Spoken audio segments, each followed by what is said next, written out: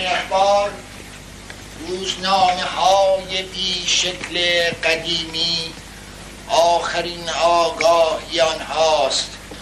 با مد منسوخی از پیراهن و شلوار در هوای تیره می گردند زیر انبوه درختانی که پنداری یک دفر با وسوسه خودکشی تحریک حلقاویز بودن چشم میدوزد.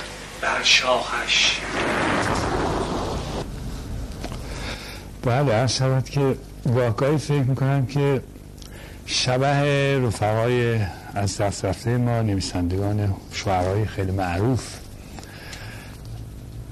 یا سایهشون در این خونه حس میشه. از مرحوم اخوان بگیریم مرحوم شاملو بگیریم گلشیری حمید مصدق.